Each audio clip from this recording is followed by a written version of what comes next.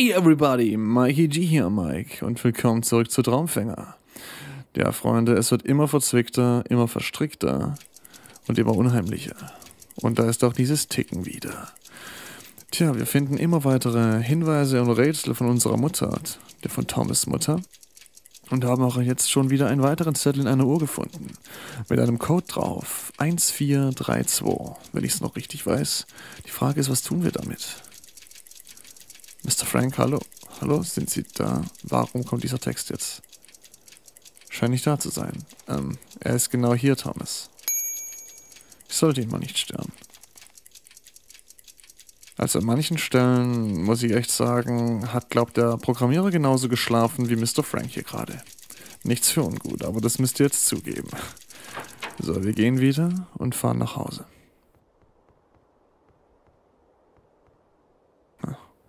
Vaters alte Kiste. Mit Skizzen von dem Haus hier, darunter Fotos und Blaupausen. Vielleicht finde ich unter den Blaupausen ja einen weiteren Hinweis. Hm. Welcher Stock könnte das sein? Ist das der untere? Welches Zimmer ist das? Sie ist nicht beschriftet und was ist das für ein Kasten in der Mitte? Vielleicht ein Hinweis. Schauen wir doch mal drauf. Was könnte das sein? Hm. Seltsam.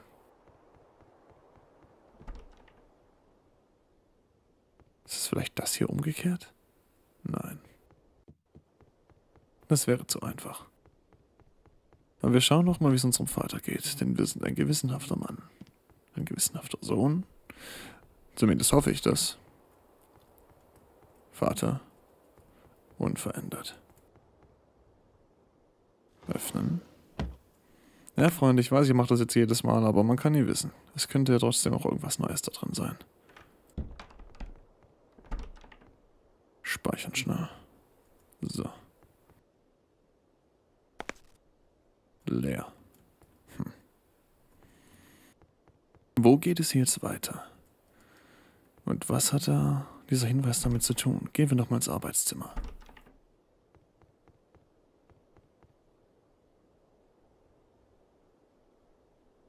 Also die, das haben wir schon gelöst. Es geht um die Uhr.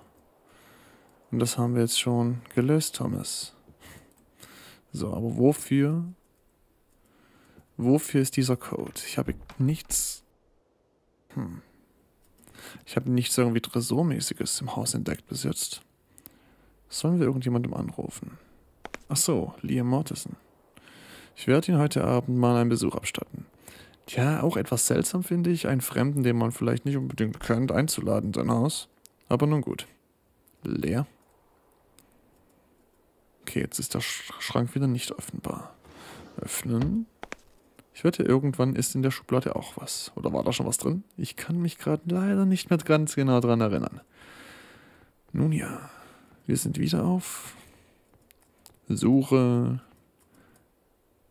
Well, ich habe einen Geheimgang gefunden, Freunde. Das war wohl so nicht vorgesehen.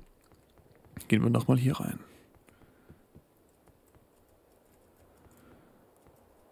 Hm.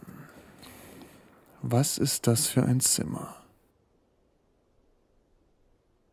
Ich komme nicht drauf.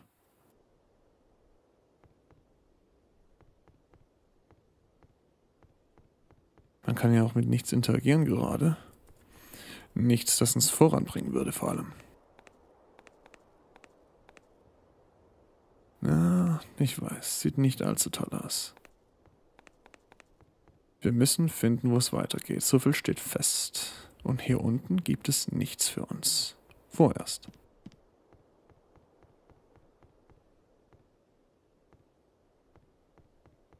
Hm. Badezimmer. Die Animation, die da oben seither drüber war, auch nicht mehr da. Was auch immer sie vorher gewesen sein soll. Ich weiß es nicht. Natürlich.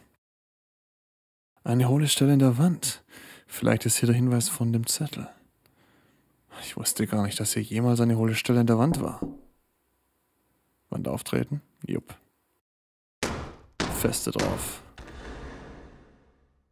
Ein Tresor.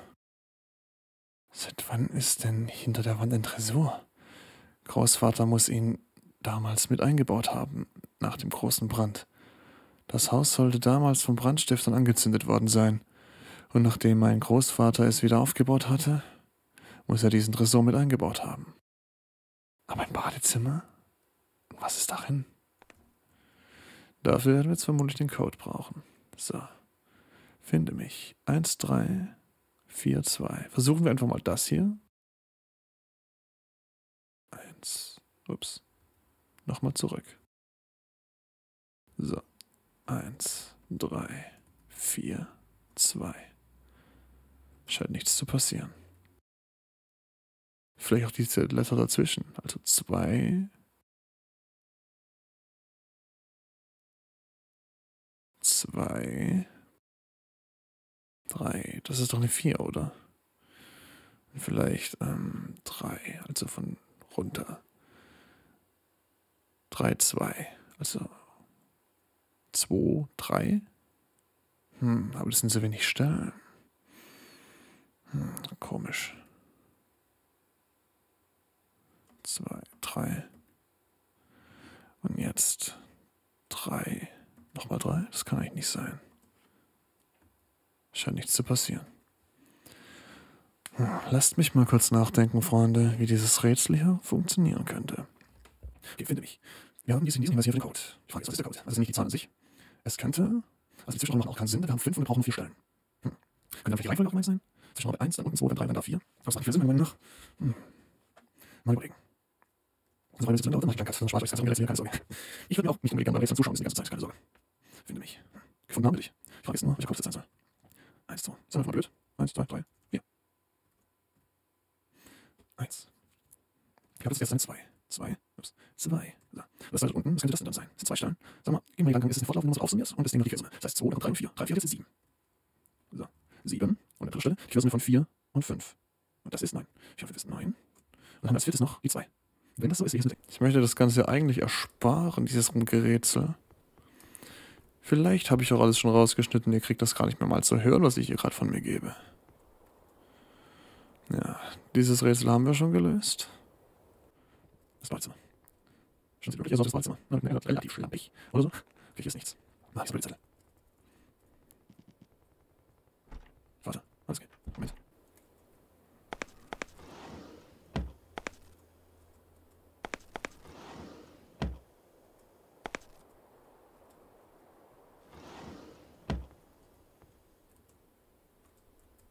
Nur die Bibel.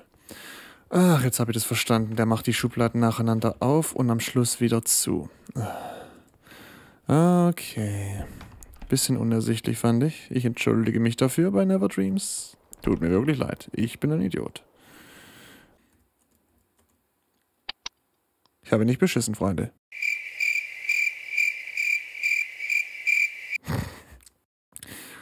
Doch habe ich leider, weil ich absolut nicht ums Verrecken drauf gekommen wäre, wie das Ganze geht. Falls ihr die Lösung habt, rekonstruiert es mir bitte. Ich habe keine Ahnung, wie man drauf kommen soll. 1736. Nur einige Unterlagen und ein paar Zettel. Aber hier liegt eine Schachtel. Ein Schlüssel. Noch ein Schlüssel. Mit einem Schild dran. Darauf steht die Gerechtigkeit. Gerechtigkeit. Was hat das denn zu bedeuten? Wofür ist der Schlüssel? Er sieht sehr alt aus. Seltsam. Da liegt ein kleines Büchlein. Scheint eine Art Notizheft zu sein. Der Wecker 1820. Ist der Wecker so alt? Hm, vielleicht ist in dem Wecker noch etwas. Ich sollte nochmal zu Mr. Frank gehen, wenn er repariert ist. Wir speichern wieder ab. und machen uns auf den Weg zu Mr. Frank. Aber zunächst schauen wir doch mal, wer uns anruft. Hallo? Hier ist Liam Mortensen. Wenn Sie jetzt nichts vorhaben, hätte ich jetzt Zeit für Sie. Ja, wunderbar. Ich mache mich sofort auf den Weg. Gut, Planänderung. Wir gehen zu Liam Mortensen. Hallo Thomas. Ich wusste nicht, dass du das warst am Telefon. Es ist lange her, seit wir uns gesehen haben. Ja, das stimmt. Was kann ich für dich tun, Thomas? Ich bin hergekommen, weil ich einen mysteriösen Anruf bekam. Darauf, er, darauf erfuhr ich vom Tod meiner Mutter. Ja, tragische Sache. Mein Beileid. Ja, danke. Aber, ups. Aber darum geht es nicht. Ich habe das Gefühl, dass da etwas nicht zusammenpasst. Ich verstehe nicht. Ich habe zu Hause bei meiner Mutter im Arbeitszimmer überall raue Stellen mit einem Hinweis auf eine Bibel gefunden. Und? Warte, ich bin noch nicht fertig. Sie hat seit dem Tod ihrer Eltern nicht mehr an irgendetwas geglaubt. Sie hat uns sogar verboten, die Bibel im Haus zu haben. Dann erfuhr ich von Nikolas, dass sie sich getauft hat. Absolut untypisch für sie. Denn dann hat sie kein Testament hinterlassen. Warum? Wenn sie sich den Aufwand macht, sich umzubringen, was sowieso noch ein weiterer Grund ist. Warum? Wenn sie plötzlich so gläubig geworden ist. So wie es mir alle sagen, müsste sie wissen, dass Selbstmord sofort die Hölle aufwirft. Kein Testament, dazu Selbstmord, Selbstmord. Das sind reichlich viele Sachen. Als wir am Tatort ankamen, haben wir nichts aus dem Abschiedsbrief gefunden. Und Selbstmord? Vielleicht ging es ihr nicht gut, immerhin bist du damals einfach. Was hat das denn jetzt damit zu tun? Ich glaube einfach nicht, dass sie sich umgebracht hat. Wenn sie sich nicht umgebracht hat, wer soll sie dann in die Schlaufe gehängt haben und den Stuhl weggetreten haben? Was war mit meinem Vater? Seit wann ist er schon so komisch? Hast du ihn nach dem Fund meiner Mutter befragt oder so? Könnte er. Thomas, er ist dein Vater. Er kommt natürlich nicht als Täter in Frage. Er hat deine Mutter geliebt. Ja, und da spricht ein absolut rational denkender Polizist. Hm. Ich weiß nicht genau, was mit ihm passiert ist. Ich weiß nur, dass der Tod seiner Frau ihn sehr mitgenommen hat. Ich habe versucht, ihn damals ein paar Fragen zu stellen. Er gab aber nur zu Protokoll, dass er geschlafen habe zu der Zeit. Das Protokoll kann ich dir gerne zeigen. Ja, gerne. Gut, ich hole es eben. Ach, der Arzt hatte noch einen psychologischen Befund geschrieben. Vielleicht hilft er da. Speichern. Warum sollten wir eine Speicheroption bekommen? Aber wir nehmen sie wahr. Schublade öffnen. Eine Dose Bohnensuppe und eine kleine Pappschachtel mit einigen Fotos. 1982. Mein Vater und der Rest des Geheimrat Gemeinderats von 18 1982. Schranktür. Ein Tresor mit drei Einbuchtungen. Scheint, als bräuchte ich irgendetwas dafür. Tja, ich würde ihn gerne wieder zumachen, damit ich keinen Ärger mit Liam bekomme. Aber nun gut. Nun gut. Der Schrank ist zu.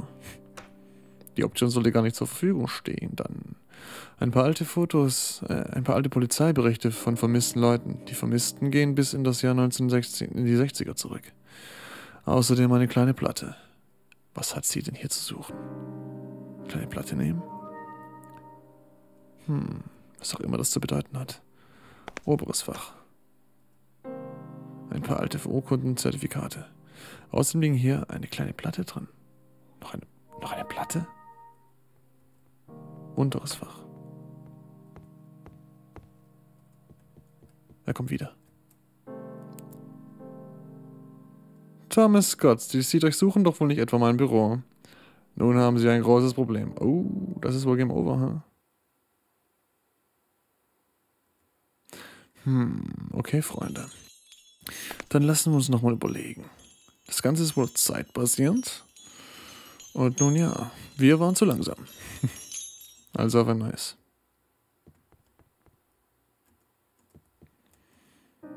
Öffnen. Wir machen jetzt alles im Schnelldurchlauf, so schnell es geht. Unteres Fach. Oberes Fach.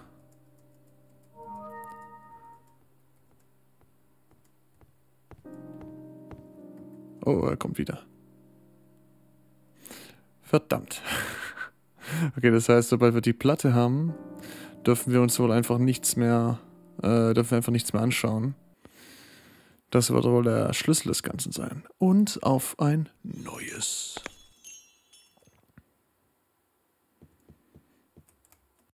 Okay, in dem Fall schauen wir erstmal da rein. Ein Gedicht. Hier liegt auch alles Mögliche herum, was, was es wohl bedeutet. Neue Welt im Wildern. Feurig brennen Wälder. Regen plätschert über Wiesen. Himmlisch Liebe angepriesen. Hm. Ein paar alte Zettel und eine kleine Platte.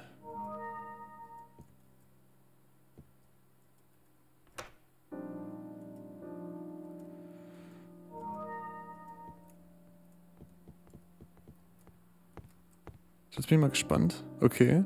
Wie sieht's jetzt aus? Wie, woher soll er das wissen? Woher soll er das wissen? Okay, wir versuchen es nochmal. Woher soll er wissen, dass wir das tun? Es gab gerade keinen Anhaltspunkt. Absolut keinen Anhaltspunkt, dass wir was getan haben. Okay. Lass ich mal überlegen. Können wir raus? Nein, können wir nicht. Zuziehen. Aha. So, okay, dann versuchen wir das Ganze jetzt nochmal im Schnelldurchlauf. Kleine Platte.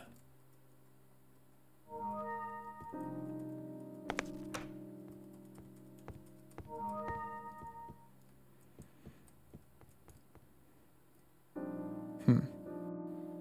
Wie viel Zeit haben wir da?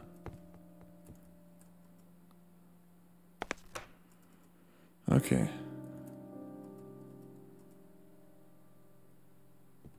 War das richtig? Nein, offenbar nicht. Das war richtig. Eine Unterlagenschachtel. Ein Schlüssel. Der Herrscher. Ein sehr alter Schlüssel, wofür der wohl gut ist. Hat er eine ziemliche Ähnlichkeit mit dem Schlüssel die Gerechtigkeit. Dem wird sich nichts dagegen haben, wenn ich ihn mir ausborge. Hm. Sicher nicht. Zwei Schlüssel mit komischen Bezeichnungen. Der Freunde, das war wohl äußerst, das war wohl etwas seltsam gerade. Der Hinweis aus dem Tresor. Der Wecker 1820. Ich muss zu Mr. Frank, vielleicht bringt den Wecker noch irgendetwas. Was ist hier nur los, Freunde? Wir sind auf der dunklen Straße zu einer sehr späten Uhrzeit. Und was ist hier drin wohl los? Bei Mr. Frank. Niemand da. Hallo?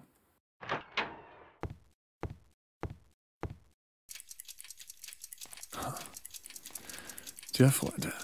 Hier, wo wir gestartet haben, die Folge, werden wir sie auch beenden. Wir suchen Mr. Frank in der nächsten Folge von Traumfänger. Rock your life, everybody. Cheerio.